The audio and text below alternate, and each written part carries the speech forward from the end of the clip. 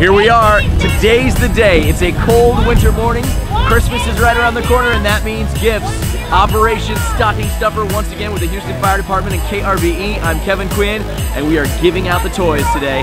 All these families lined up. We're trying to get through a thousand families an hour.